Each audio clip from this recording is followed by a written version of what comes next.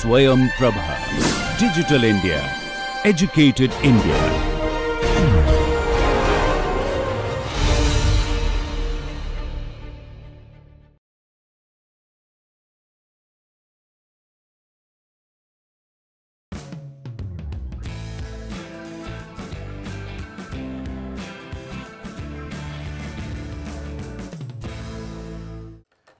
Were uh, looking at uh, sound propagation in a box or acoustic field in a box and we derived the expression for the uh, solution for the uh, acoustic field.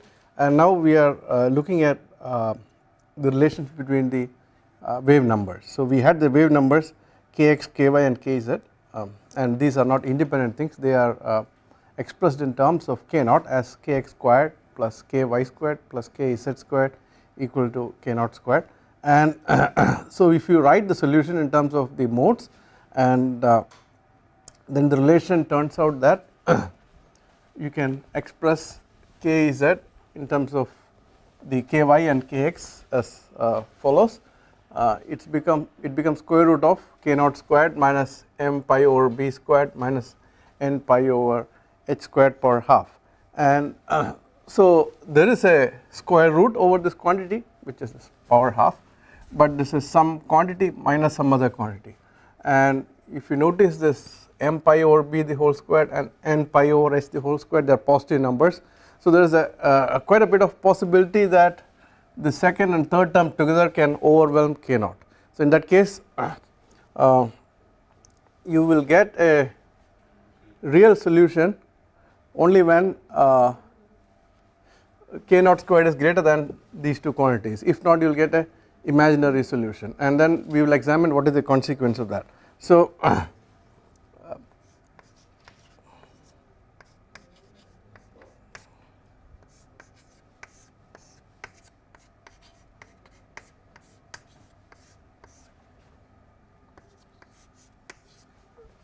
so this would give uh, uh, real roots for kz comma m comma n and uh, that would mean that you will have this uh, propagating solution of the form e power i k z and e power minus i k z.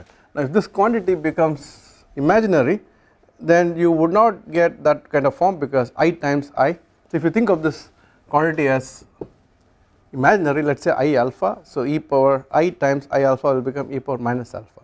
So you do not get this propagating kind of solution but you will get attenuated solutions. So uh, you get propagating solution or in other words any mode will propagate only if this condition is true that is k naught squared minus m pi over b the whole squared minus n pi over h squared is greater than 0. So if you write rewrite this in terms of frequencies you will get 2 pi f over c squared minus m pi over b squared minus n pi over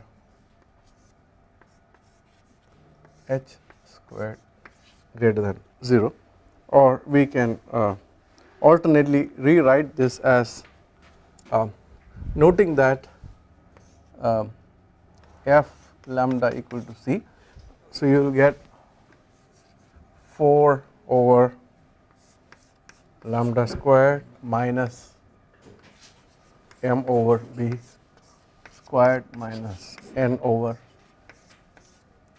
h squared is greater than 0. This can be recast as this will happen if lambda should be less than 2 over m over b square plus n over h, h square. so your wavelength has to be shorter than certain value for a mode to be established and that mode to propagate if not the mode will attenuate rapidly and you cannot establish that mode in the duct it will only be present locally where you set up the sound source. Sorry. Oh yeah thank you.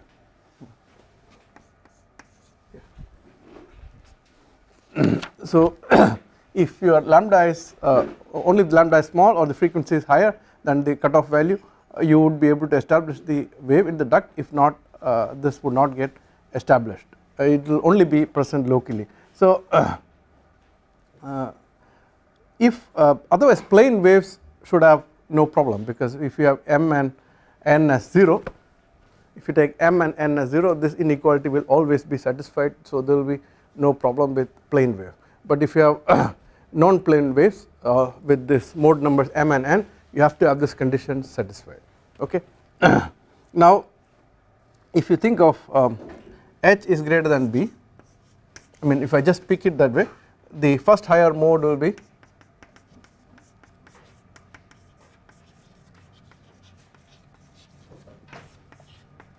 zero comma one that is uh, so you should get lambda less than 2h or f is greater than c by 2h. So if you do not satisfy this relation um, you will not be able to set up this higher modes in the duct okay. I mean you can the, the those modes will be very local and the amplitude will decay exponentially.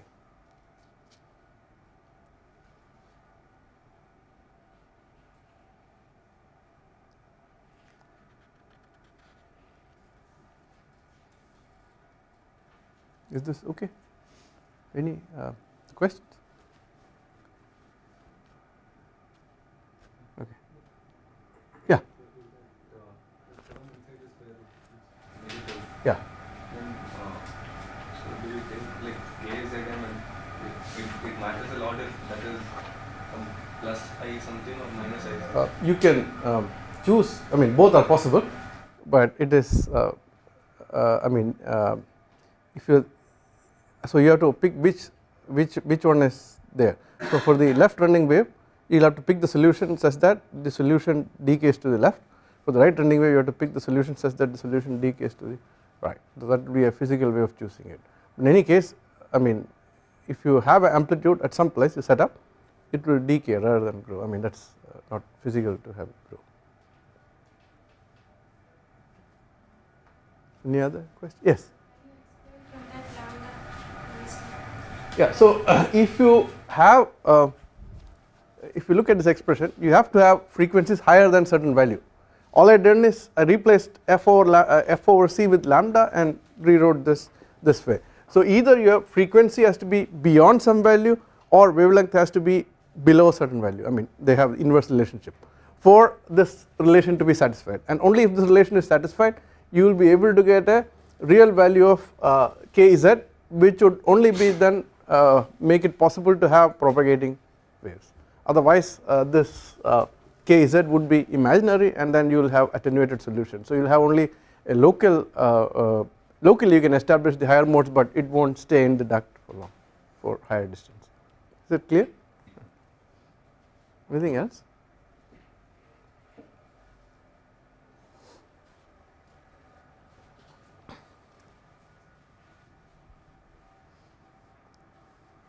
So I'll just pause for a minute for everyone to write these things down.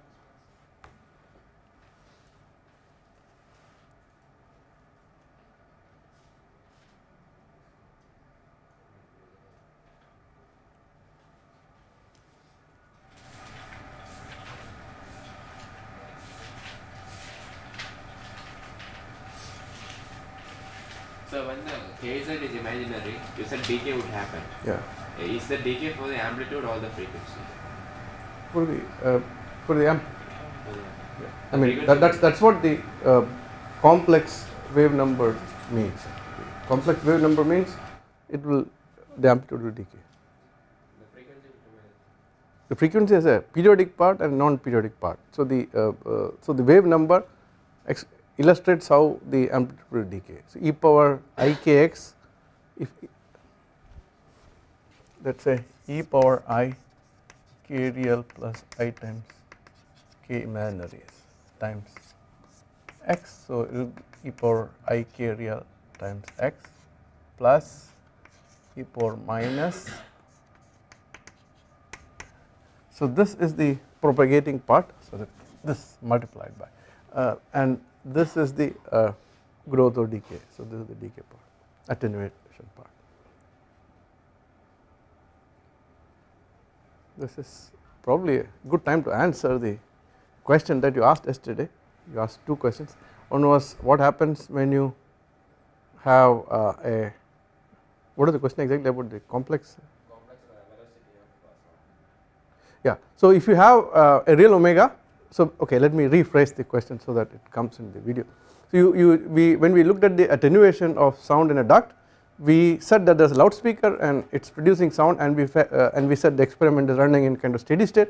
So we have a real omega and then we had a complex wave number and the question was whether omega over uh, the uh, omega over c is k omega is real c is c has to turn out to be complex for get getting k to be uh, complex. So uh, uh, this is indeed right but uh, what we have to remember is that the way we solved it it is not a eigenvalue problem. We imposed the omega that means the impedance of the loudspeaker has to match the duct and so on which we did not take into account. So whatever energy is absorbed by the duct is being given that assumption is made implicitly. So uh, as opposed to eigenvalue problem where we actually prescribe conditions at the boundary and then we solve for uh, solve for the frequency and the wave number. So uh, the relation between omega and k that is the dispersion relationship. So in eigenvalue problem you will get a dispersion relationship and there you can say omega over c equal to k or something like that and omega can be complex k will also be complex but c will have to be a real propagating speed uh, because that is what it is. Now here uh, if you um, say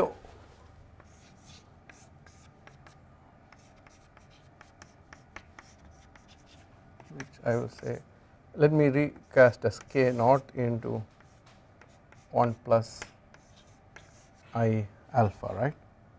So I will get C equal to omega by k naught into 1 plus i alpha which can be perhaps written as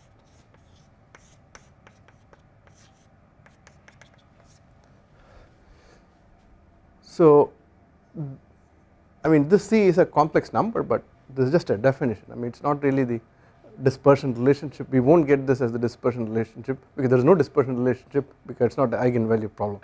Uh, so this can be called a complex speed and uh, people many times call it complex speed of sound but we have to understand that it is just uh, a definition. So omega over um, uh, I mean the c which is square root of gamma rt that is indeed the speed of the wave which is happening which is going which comes out as uh, omega or k naught but the balance is just a way of representing attenuation.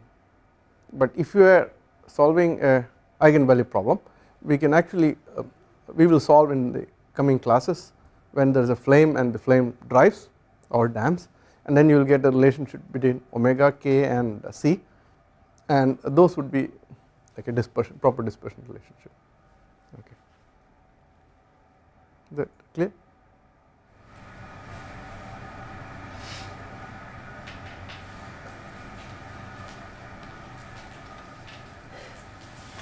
And the uh, other question um, was when you have a, um, uh, mean velocity would you get same equation?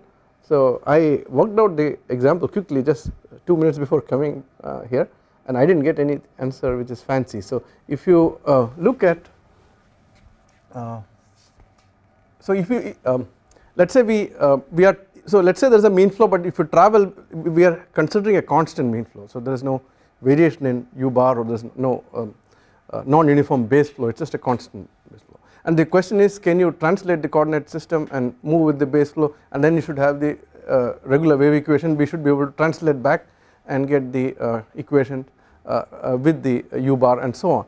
So what one would do is dou rho prime by dou t plus rho bar dou u prime by dou x equals 0. So this is the continuity equation and I will replace rho prime equal to p prime over c square. Uh, so I will say now um, so this is the uh, modified continuity equation and uh, momentum equation was dou u prime by dou t plus 1 over rho bar rho p prime by dou x equals 0. Now uh, if you want to see the um, so now, now you are if there is a mean flow or not the equation does not distinguish except that even if there is a mean flow then you have to be traveling at the speed of the mean flow that, that, that is where the equation is written.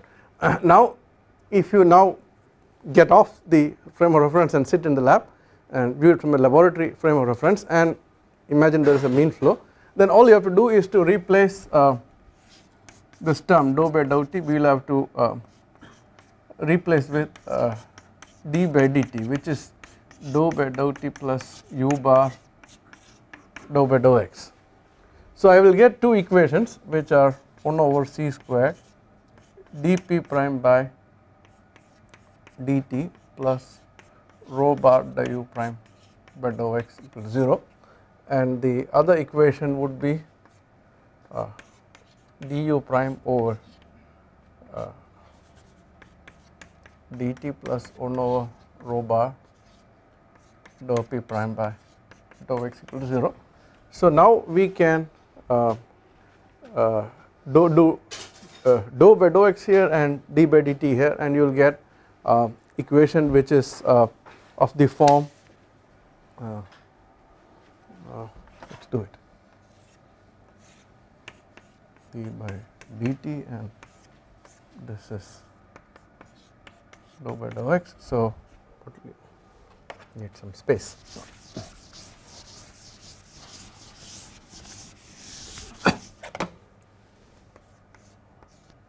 1 over c square d square p prime by dt square plus uh, rho bar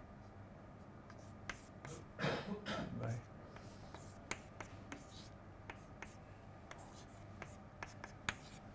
and the other equation will give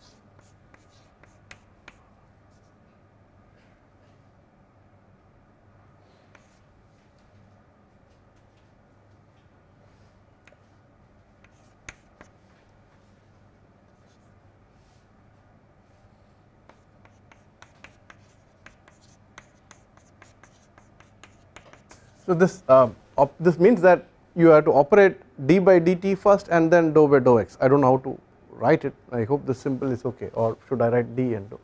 Uh, yeah, I think this is probably more appropriate.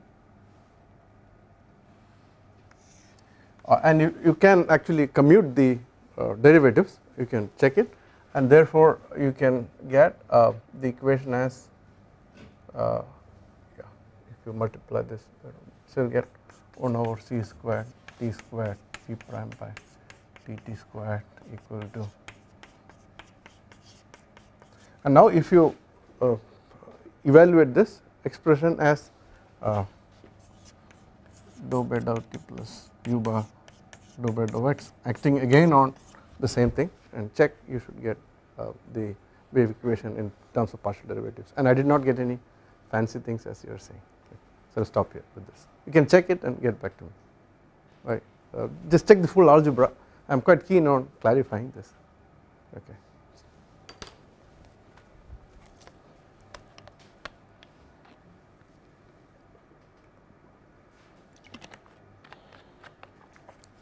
Any other questions on the old topics? If there are no Nobel Prize winning questions we will move on to uh, uh, acoustic fields and cylinders.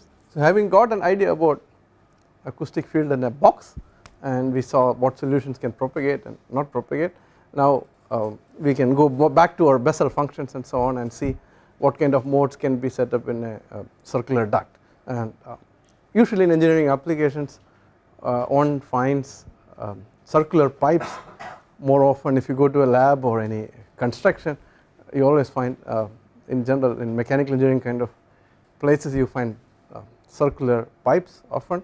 Of course in um, rooms are always like a box. I mean you do not have circular rooms yet. Uh, so I guess both are important. So we look at the um, solution of uh, we will write the wave equation in cylindrical coordinates. And now we can also do all this in spherical coordinates but I am not going to spend too much time on this topic I will uh, just wrap up, wrap up with this. So we will look at um, solution to wave equation in general cylindrical coordinates and this time we will keep all this uh, angular dependence and so on.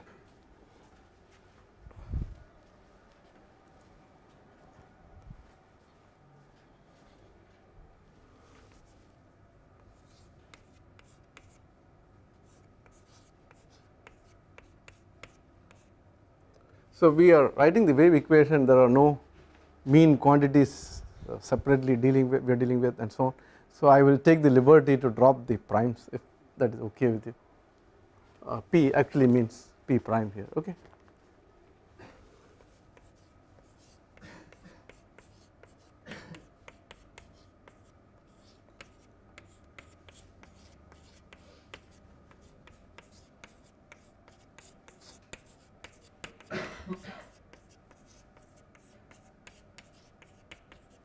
Now we can do. So this is the uh, wave equation in cylindrical uh, coordinates or what is called cylindrical polar. We can do separation of variables.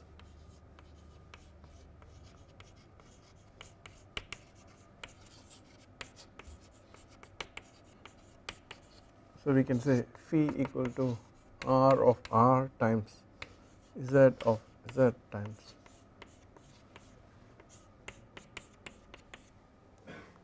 So if you do this and work out the algebra I will write the final result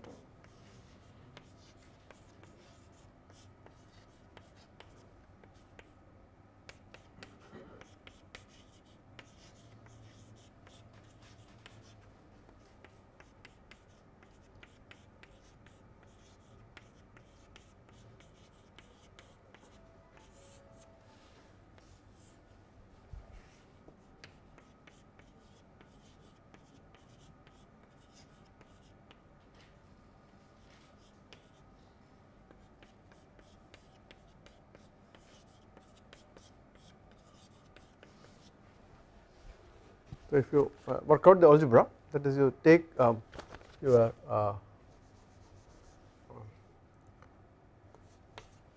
pressure as uh, function of r times function of z times function of phi times function of time and substitute it into uh, this relation and then we divide throughout by r z psi t then you get something of this form.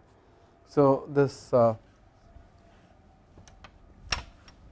this term is dependent on r and phi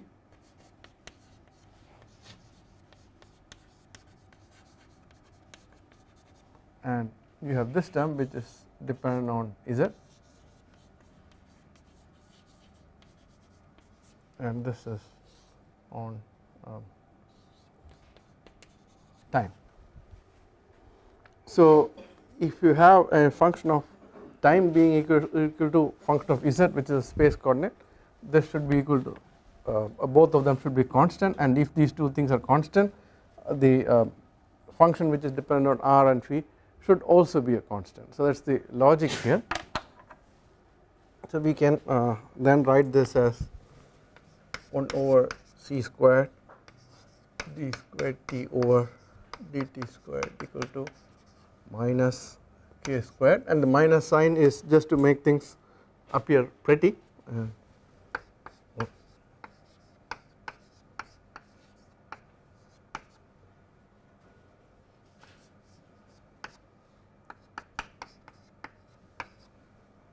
And you have the first term 1 over r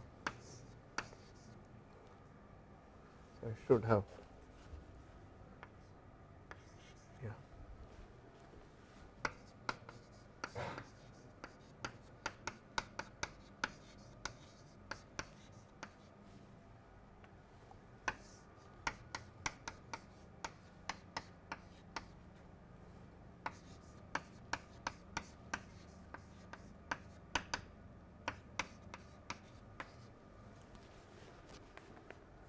So we will have these uh, constant and they are not independent we, we can write a relation uh, between them. So k r squared plus k z squared equal to k squared. So this is like a uh, constraint or compatibility relation.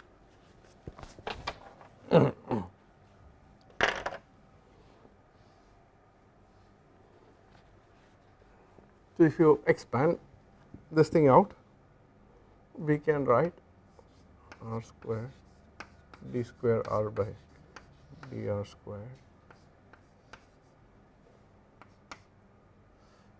plus r over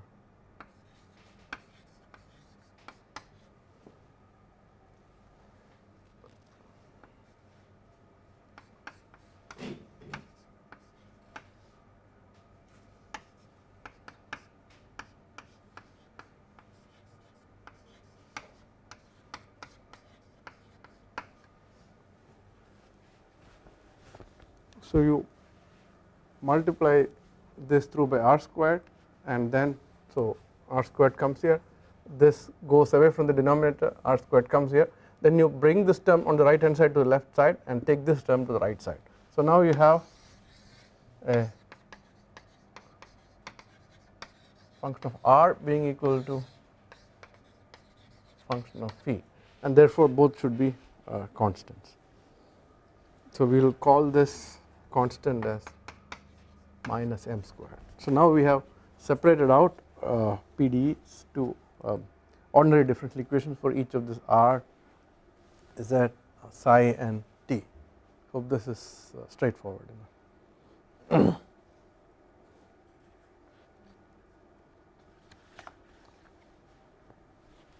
so we can um, write this as two equations actually. So one uh,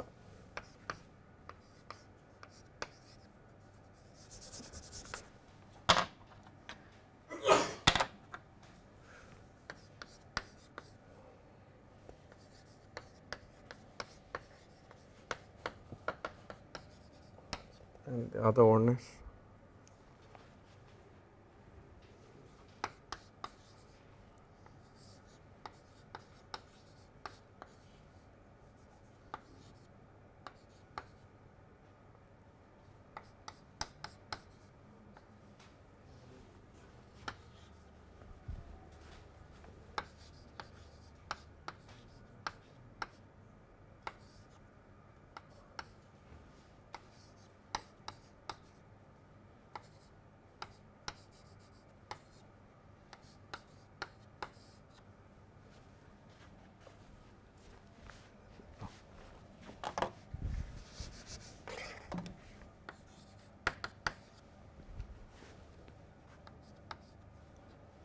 So we have two equations which are actually coupled.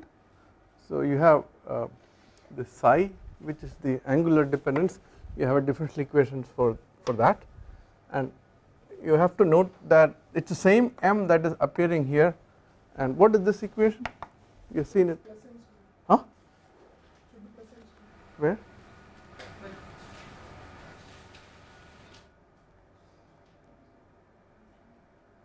yeah.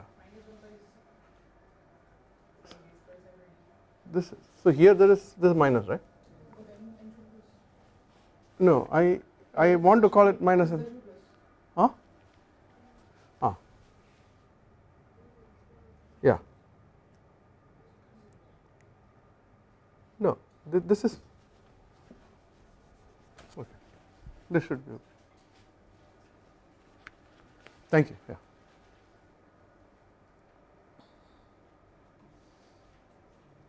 again these are uh, you can write plus m or minus m it is just to make the things look nice and so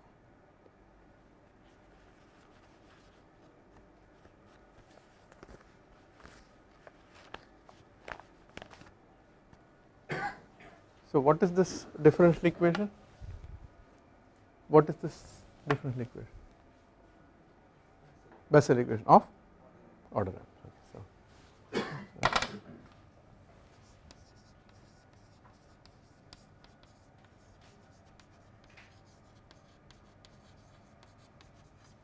and uh, we uh,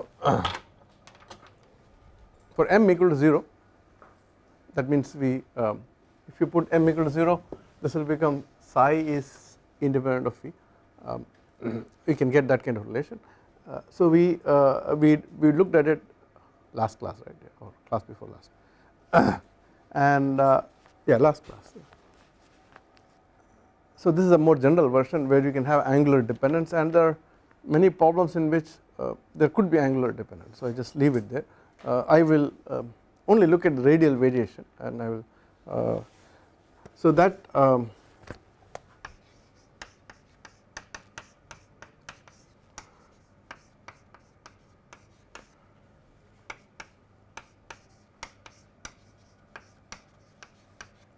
so you will get a solution of this form when m is an integer and if m is a non-integer what happens so, right so this is for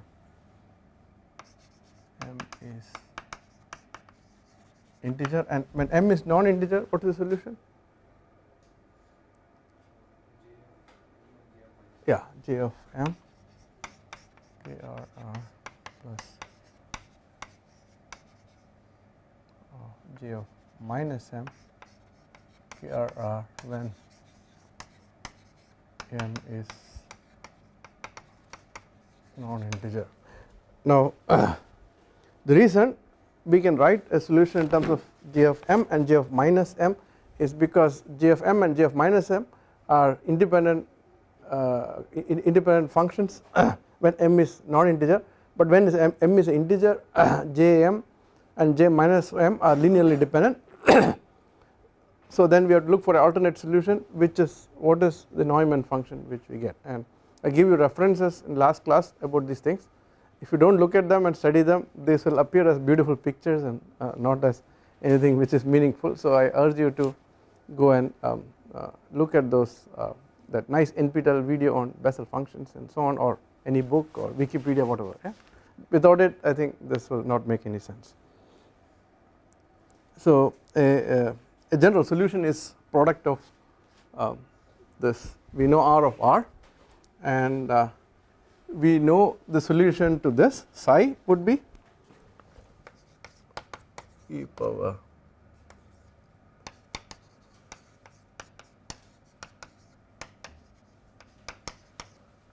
and um, for yeah for z we can get e power i k z plus e power minus k i, i k z and you can multiply all of them and you can get the general solution.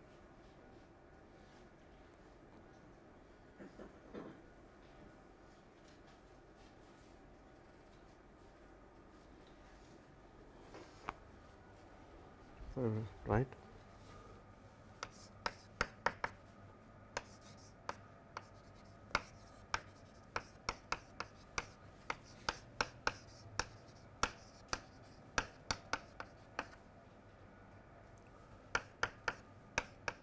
So, Z is the generalized cylinder function which can be written as uh, j or y, uh, uh, y or j, uh, j of m and j of minus m or you can also write in terms of Hankel which is j plus i y and j minus i y uh, all can be represented by this general cylinder functions. That is z and the superscript denotes the first kind second kind. So you always have to have two solutions right and m denotes the order. so we multiply this by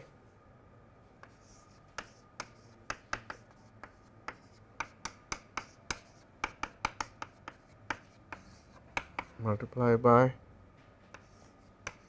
e e power am 5 plus f e power and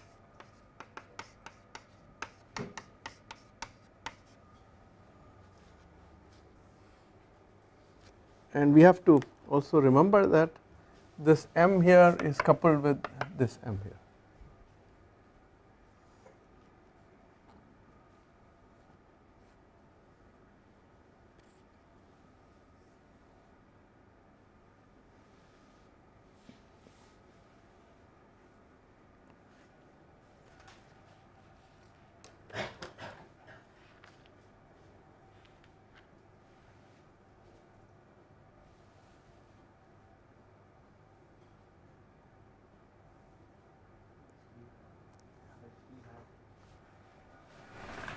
yeah so times e power i omega t.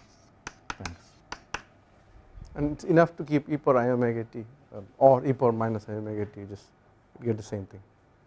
Thank you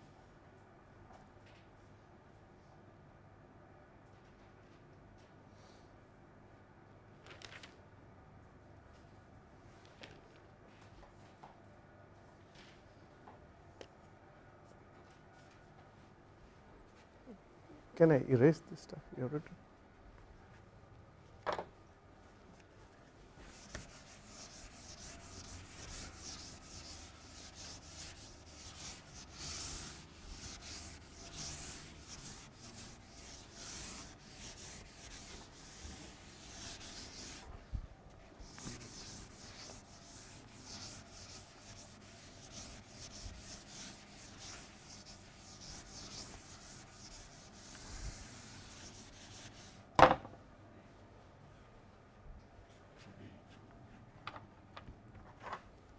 So next we will study sound propagation in circular tubes. Acoustic fields.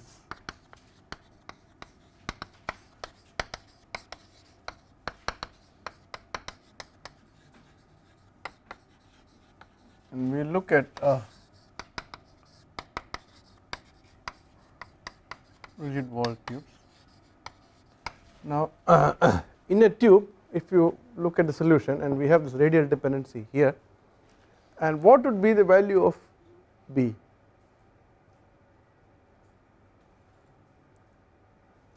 Can we guess the value of B? 0 why? Yeah. So uh, at r equal to 0 the value of y is minus infinity. So he has probably done the homework. No I think he is an expert in Bessel function. I learned from him earlier. So for those of you who are not experts you should do the homework and figure out how the y and j likes. Uh, so all y's go to minus infinity when r equal to 0. So if you have if your domain includes r equal to 0 you can peacefully drop b, b will be 0. If your domain does not include r equal to 0 that is if you are talking about the annulus and so on like annular combustion chamber which you are probably studying then we have to uh, keep b okay so that is clear. So now we can safely if you have a circular tube we can just safely say that our expression is Jm. What is the value of J naught at r equal to 0 and what is uh, uh, J1, J2, J3,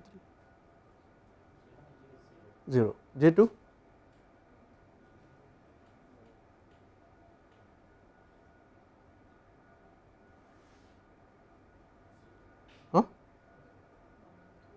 J naught he said is 1 fine. Yeah all the j's are 0 except yeah.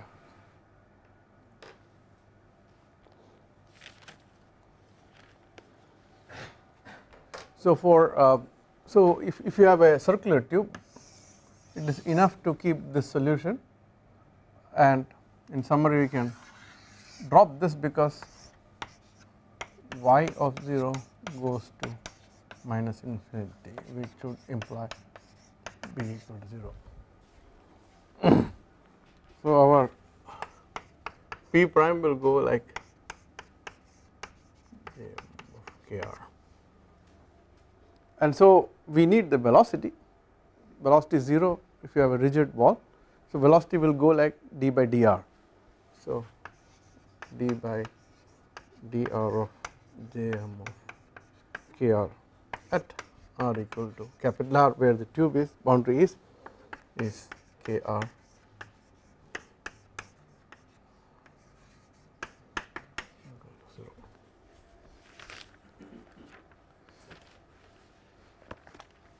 So the roots of this equation uh, will give the um, values of KRR. Uh, and uh, in in sine and cos you have simple relation. Like if sine uh, x is 0 then x can be 0 pi 2 pi 3 pi and so on. But we learned that Bessel function has a very important characteristics which about the roots. What does it? Yeah the roots of the Bessel function are not evenly spaced. So it is a big um, subject by itself to a lot of people do PhDs on roots of Bessel functions and so on uh, we will not do a PhD but we look at uh, uh, first roots of this this quantity. Uh,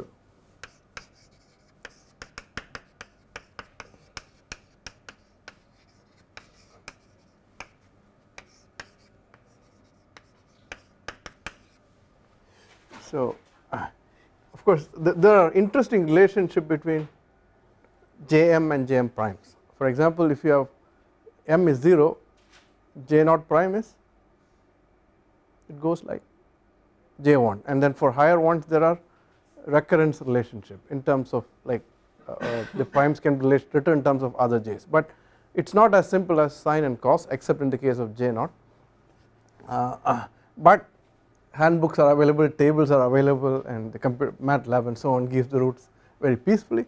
So let us look at a table where m is the order here and um, 0 1 2 3 we will look at and we will look at the first root which is nu equal to 0 nu equal to 1 equal to 2 nu equal to 3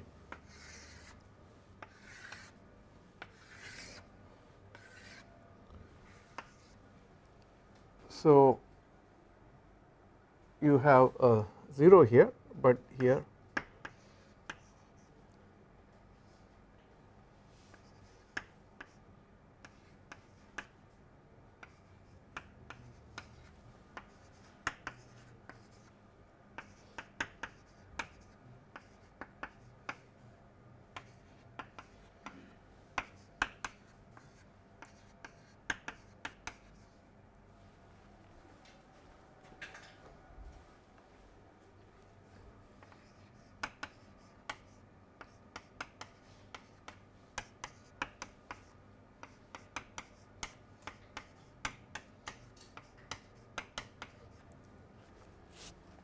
So this is the um, very first one that is coming. That is corresponding to m equal to 1 the 0 uh, nu equal to 0. So uh, of course why the roots are this way and a lot of stuff is available but we can get this from a handbook. Uh, and uh, the interesting thing is that um, this, this correspond to the uh, lowest frequency that can be set up with the radial mode and you, you can have frequencies that are only higher than that anything lower than that would not propagate. So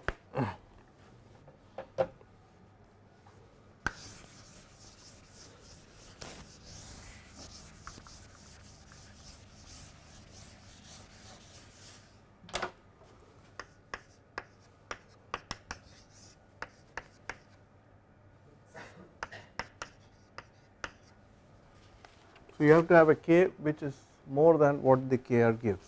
And what is the value of kr so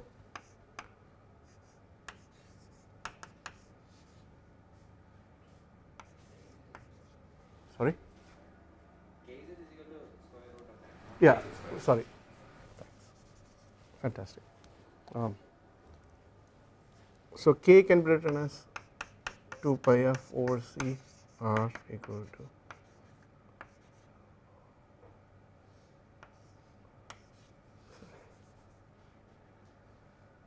we will call this root as gamma. So,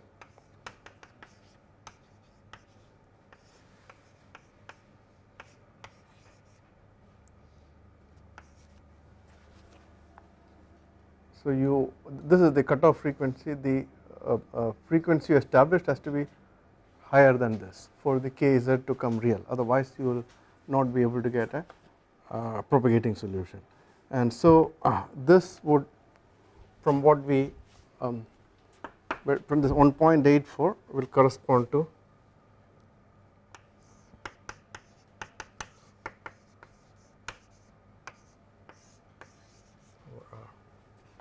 or this will correspond to d which is 2r equal to 0.584 lambda which is okay of the order of lambda over 2. So you have to have frequencies which are higher than what you get from this formula to be able to establish radial mode in a duct. Anything lower would only be there locally and you will not propagate. Or the uh, wavelengths have to be uh, uh, your should be shorter than uh, the d divided by 0.584 um, or you can think the other way. For a given wavelength the duct diameter has to be like half the wavelength approximately and uh, anything below you will not be able to set up this uh, radial modes you will only be able to have plane waves. So the same way we saw in the case of the box except there it was simple m pi by uh, b and n pi over h where here we need to have this table or computer program and so on. So I am going to uh, stop my discussion about multidimensional acoustic field with this but in reality um, there is a lot more to study. I think annular combustors have these modes which are uh, annular modes and they are uh, having this radial kind of stuff as well as they are rotating and, and so on. But we will not uh, uh, speak much about this in this class. We will concern with purely uh, axial waves but I just wanted to give an introduction to this kind of topic. So I will stop here. Uh, with my teaching on acoustics and in next class we will uh, so we have finished the first half of the class first, first half of the course which I said was dealing with propagation of uh, sound. So just to uh, recapture whatever went through half the semester we derived equations of fluid mechanics well one dimensional and then uh, you can write 3D if you want.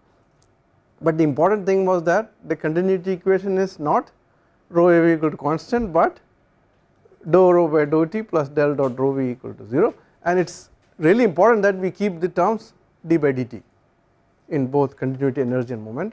And then we talked about linearizing and this was purely because we wanted to keep things simple because linear equations can be solved and we did manage to solve some of them not all. For example everything did not get did not give out solutions of the form f of x plus ct and so on only some uh, with the temperature gradient or with the cylindrical coordinates we did not have a general solution right.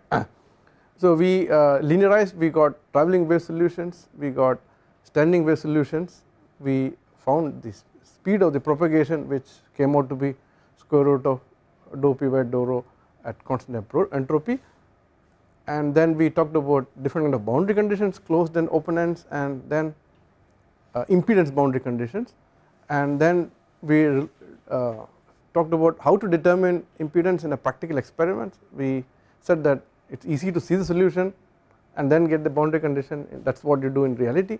And then uh, we uh, so we, uh, there we set up a real frequency and looked at the standing wave structure got the impedance but then we were able to translate it to the eigenvalue problem uh, with those that end.